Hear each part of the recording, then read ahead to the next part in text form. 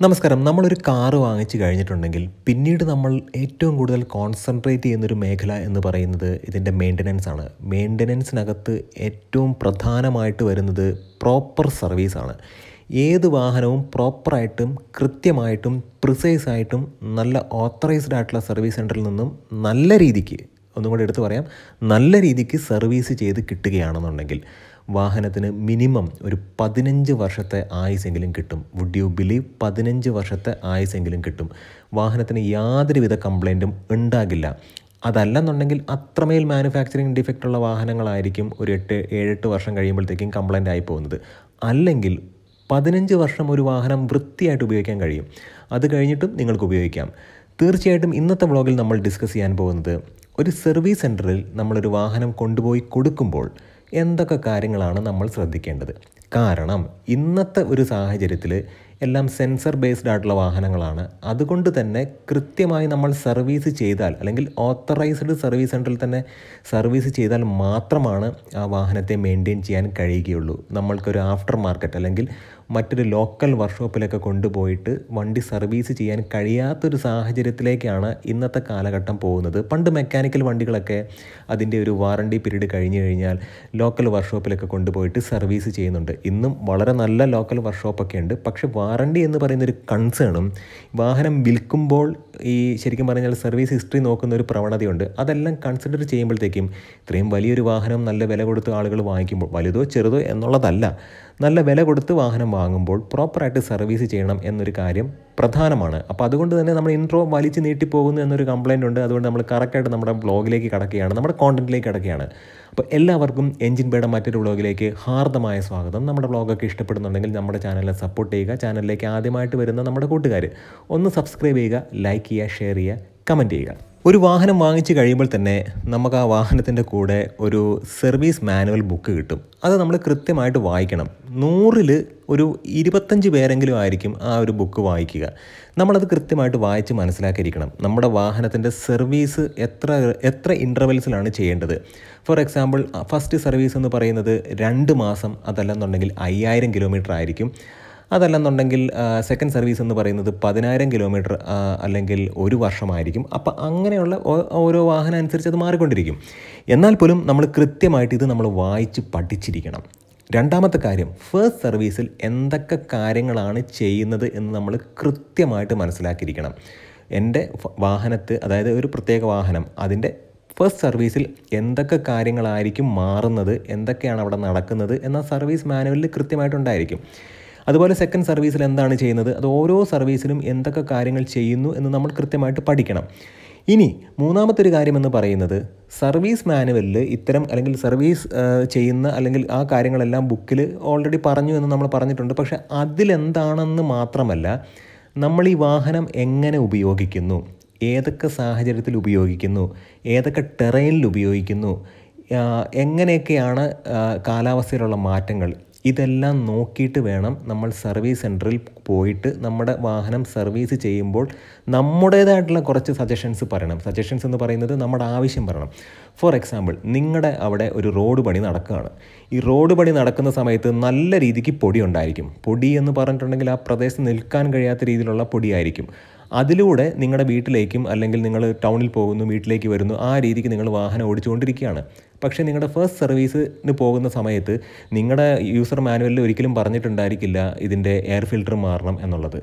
നിങ്ങൾ കൃത്യമായിട്ട് പറയുക ഞാൻ ഓടിച്ച സാഹചര്യം ഈ ഒരു സാഹചര്യത്തിലാണ്. എന്റെ എയർ ഫിൽട്ടർ നിറച്ചിപ്പോൾ പൊടിയായിരിക്കും. അത് ക്ലീൻ ചെയ്യുക അല്ലെങ്കിൽ അത് മാറുവാൻ പറ്റുവാണെന്നുണ്ടെങ്കിൽ അത് മാറുക. വ്യക്തമായിട്ട് നോക്കുക ഇത് ഒന്നുകിൽ യൂസ് ചെയ്യാൻ പറ്റുന്നതാണെന്നുണ്ടെങ്കിൽ യൂസ് ചെയ്യുക ഒന്ന് ക്ലീൻ ചെയ്തിട്ടിടുക അല്ലെങ്കിൽ എയർ അടിച്ചിട്ടിടുക അല്ലെങ്കിൽ അത് മാറുക. ഇത് നിങ്ങൾ പറയണം. പക്ഷേ മിക്കവാറും ഈ സർവീസ് മാനുവലിൽ ഫസ്റ്റ് സർവീസിൽ എയർ ഫിൽട്ടർ മാറണം എന്നൊരു കാര്യം പറയില്ല. ഇത് ഞാനൊരു ചെറിയ എക്സാമ്പിൾ എന്നുള്ള രീതിക്ക് മാത്രമാണ് പറഞ്ഞത്. രണ്ടാമത്തത് നിങ്ങളുടെ കാറിന്റെ ടയർ അലൈൻമെന്റ് ഫസ്റ്റ് സർവീസിൽ ചെയ്യുകയില്ല. പക്ഷെ നമ്മൾ മനസ്സിലാക്കേണ്ട ഒരു കാര്യം നിങ്ങൾ ഓടിക്കുന്ന ടെറൈൻ അല്ലെങ്കിൽ ഗട്ടറുള്ള കുണ്ടും കുഴിയുള്ള റോട്ടിൽ കൂടിയാണ് ഓടിക്കുന്നതെങ്കിൽ നിങ്ങളൊരു മൂവായിരത്തഞ്ഞൂറ് കിലോമീറ്റർ ഒക്കെ ആകുമ്പോഴത്തേക്കും കൃത്യമായിട്ട് ടയർ അലൈൻമെന്റ് ചെയ്യണം. അല്ലെങ്കിൽ സർവീസിന് പോകുമ്പോൾ അവിടെ ടയർ അലൈൻമെന്റും വീൽ അലൈൻമെന്റും ബാലൻസിങ്ങും കൂടെ ചെയ്യണം ടയർ റൊട്ടേഷനും കൂടെ ചെയ്യണം. ഈ കാര്യങ്ങളെല്ലാം കൃത്യമായിട്ട് നിങ്ങൾ പഠിച്ചിരിക്കണം. അടുത്ത സുപ്രധാനമായിട്ടുള്ളൊരു കാര്യം എന്ന് പറയുന്നത് ഓയിൽ ചേഞ്ച് ആണ്. അതായത് കൃത്യമായിട്ട് മനസ്സിലാക്കണം ഓയിൽ ചേഞ്ച് അല്ലാതെ ഓയിൽ ടോപ്പപ്പ് അല്ല. മിക്കവാറും സർവീസ് സെന്ററിൽ കാണിക്കുന്ന ഒരു പ്രവണത തൊണ്ണൂറ്റൊമ്പത് ശതമാനം സർവീസ് സെന്ററും നല്ലതാണ് വൺ പേഴ്സന്റേജ് വൺ പേഴ്സന്റേജിനെ കുറിച്ചിട്ടാണ് ഞാൻ പറയുന്നത്. ഈ വൺ പേഴ്സന്റേജ് ആ സർവീസ് സെന്ററിലാണ് നമ്മൾ പോണതെങ്കിൽ നമ്മൾക്ക് സംഭവിക്കാവുന്ന കാര്യമാണ്. നമ്മളൊന്ന് ജാഗരൂകരാകണം എന്ന് മാത്രമാണ് ഞാൻ ഇതിലൂടെ പറയുന്നത്. അപ്പോൾ കാര്യത്തിലേക്ക് വരാം. അപ്പോൾ നമ്മൾ ഓയിൽ ചേഞ്ച് എന്ന് പറയുന്നത് ഓയിൽ മൊത്തം ഡ്രെയിൻ ചെയ്ത് കളയണം. അതായത് എൻജിൻ ഓയിലിന്റെ നട്ട് തുറന്ന് ഓയിൽ ഫുള്ള് ഡ്രെയിൻ ചെയ്ത് കളഞ്ഞതിന് ശേഷം പുതിയ ഓയിൽ ഫില്ല് ചെയ്യണം. മിക്കവാറും സർവീസ് സെന്ററിൽ ചെയ്യുന്ന എന്താണെന്ന് വെച്ചിട്ടുണ്ടെങ്കിൽ അവരധികം കിലോമീറ്റർ ഓടാത്ത വണ്ടിയാണെന്നുണ്ടെങ്കിൽ അവർ ജസ്റ്റ് നോക്കും ആ അധികം കിലോമീറ്റർ ഓടി ഓടാത്ത വണ്ടിയാണ്. അതുകൊണ്ട് തന്നെ കുറച്ചൊന്ന് ടോപ്പപ്പ് ചെയ്താൽ മതി എന്നവർ പറയും. അപ്പോൾ നമുക്കിതൊരിക്കലും കണ്ടുപിടിക്കാൻ കഴിയില്ല. കാരണം എന്താണെന്ന് വെച്ച് കഴിഞ്ഞാൽ വണ്ടി തരുമ്പോഴത്തേക്കും കഴുകി കുട്ടപ്പനായിട്ട് തുടച്ചായിരിക്കും തരുന്നത്. രാവിലെ മുതൽ വൈകുന്നേരം വരെ നിൽക്കുന്ന കസ്റ്റമർ വണ്ടി എടുത്ത് പോകാനുള്ളൊരു ടെൻഡൻസിയിലായിരിക്കും ആരും അടി കുനിഞ്ഞ് നോക്കിയിട്ട് ഈ നട്ട് ഉരിയോ ഇല്ലയോ എന്നൊന്നും ആരും നോക്കില്ല. നമ്മൾ കൃത്യമായിട്ട് ചെയ്യേണ്ടത് ഒരു ചെറിയ ടെക്നിക്ക് പറഞ്ഞു തരാം. നിങ്ങൾ ഈ ഓയിൽ ഡ്രെയിൻ നട്ടുണ്ടല്ലോ അവിടെ ഒരു സെല്ലോ ടേപ്പ് ഇപ്പം പച്ച മഞ്ഞ നീല ഈ പല കളറിലുണ്ടല്ലോ അതങ്ങ് ടൈറ്റായിട്ട് നല്ല രീതിക്ക് അങ്ങ് ചുറ്റി വെക്കുക. നല്ല രീതിക്ക് പ്രഷർ പൈപ്പ് ഉപയോഗിച്ച് അടിച്ചാൽ പോലും പോകാത്ത രീതിയിൽ കൃത്യമായിട്ട് അങ്ങോട്ട് ടൈറ്റാക്കി വെക്കുക.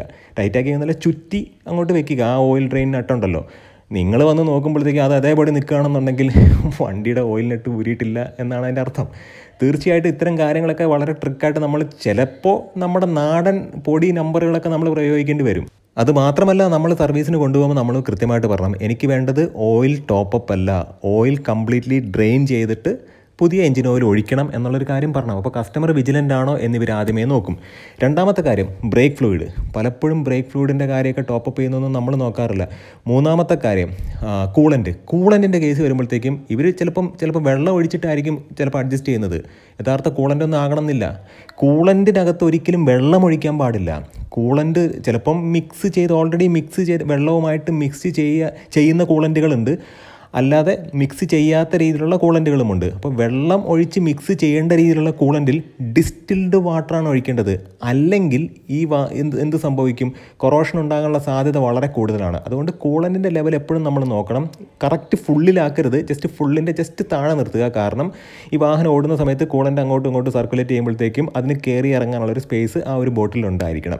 നിങ്ങളത് കൃത്യമായിട്ട് നോക്കണം. അത് മാത്രമല്ല ഒരു വണ്ടി സർവീസ് ചെയ്ത് കഴിഞ്ഞ് പുറത്തേക്ക് ഇറങ്ങുമ്പോഴത്തേക്ക് നിങ്ങൾ ആദ്യം വന്നിട്ട് വണ്ടി തുടച്ചോ ക്ലീൻ ആണോ വണ്ടി നന്നായിട്ട് കഴുകിയിട്ടുണ്ടോ എന്നുള്ളതല്ല നോക്കേണ്ടത്. ബോണറ്റ് അങ്ങോട്ട് തുറക്കുക. എൻജിൻ ബേ നിങ്ങൾ തുറന്ന് നോക്കിയിട്ട് കൃത്യമായിട്ട് നോക്കുക. അവിടെ ഇവിടെയൊക്കെ കൃത്യമായിട്ട് ചെയ്തിട്ടുണ്ടോ?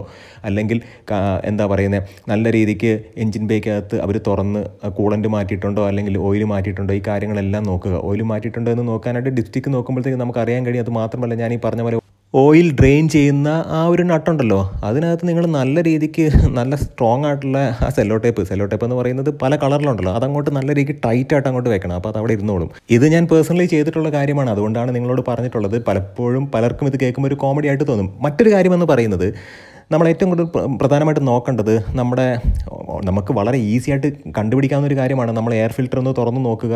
ജസ്റ്റ് എഞ്ചിൻ ബേ തുറന്നിട്ട് എയർ ഫിൽറ്റർ നമ്മളൊന്ന് ചെക്ക് ചെയ്യുക. അപ്പോൾ തന്നെ നമുക്കറിയാം അവരൊന്നും അത് തുറക്കത്ത് പോലുമില്ല.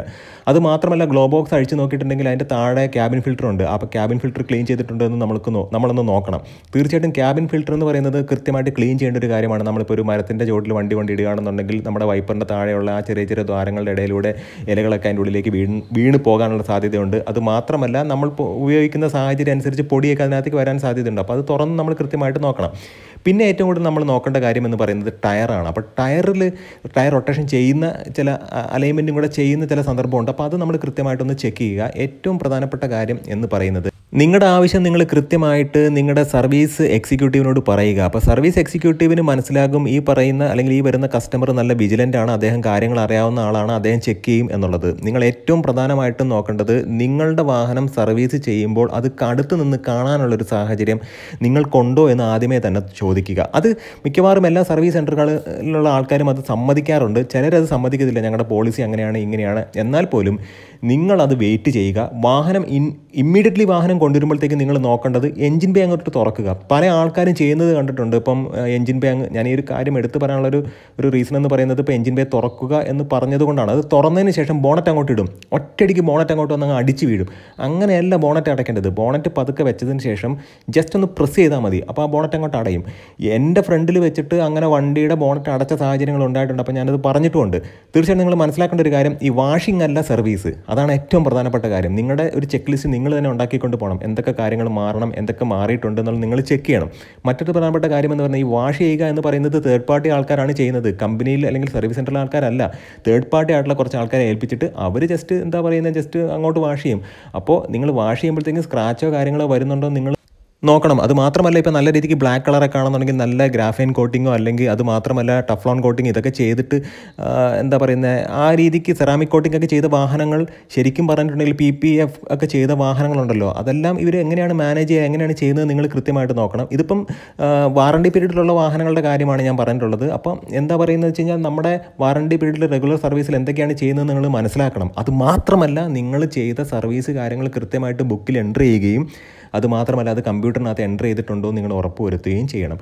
തീർച്ചയായിട്ടും നിങ്ങൾ ശ്രദ്ധിക്കേണ്ട ഒരു കാര്യം നിങ്ങളുടെ വാഹനത്തിന്റെ മെക്കാനിക്കൽ ഭാഗങ്ങളായ ഭാഗങ്ങൾ നിങ്ങൾ കൃത്യമായിട്ട് നോക്കണം. ഏറ്റവും പ്രധാനപ്പെട്ട കാര്യം സർവീസ് ചെയ്ത് കഴിഞ്ഞാൽ നിങ്ങൾ എൻജിൻ ബേ തുറന്ന് അത് നോക്കണം. നിങ്ങൾ നോക്കുമ്പോഴത്തേക്ക് നിങ്ങൾക്ക് മനസ്സിലാക്കുന്ന ഒരു കാര്യം എന്ന് പറയുന്നത് വണ്ടി മൊത്തം തുടച്ച് വൃത്തിയാക്കിയിരിക്കും എൻജിൻ ബേക്ക് അകത്ത് നിറച്ച് വെള്ളമായിരിക്കും. വെള്ളം എന്ന് ഉദ്ദേശിച്ചത് വണ്ടി കഴുകുമ്പോൾ അകത്തേക്ക് പോകുന്ന ഡ്രോപ്സും കാര്യങ്ങളൊക്കെ അതേപടി അവിടെ ഉണ്ടായിരിക്കും. തീർച്ചയായിട്ടും നിങ്ങൾ അതൊക്കെ ശ്രദ്ധിക്കുക അത് അവരോട് തന്നെ പറഞ്ഞ് അത് കൃത്യമായിട്ട് ക്ലീൻ ചെയ്യുക. നിങ്ങളൊന്ന് വിജിലന്റ് ആയിട്ടിരിക്കുക. എല്ലാ സർവീസ് സെന്ററുകാരും ഇങ്ങനെ ചെയ്യും എന്നല്ല പറഞ്ഞിട്ടുള്ളത്.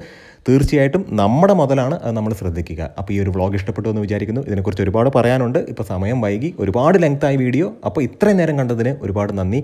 നല്ല നല്ല വ്ളോഗ്സുമായിട്ട് നമുക്ക് വീണ്ടും കാണാം. ഈ വീഡിയോ ഇഷ്ടപ്പെട്ടിട്ടുണ്ടെങ്കിൽ തീർച്ചയായിട്ടും കമന്റ് ചെയ്യുക. നന്ദി. നമസ്കാരം.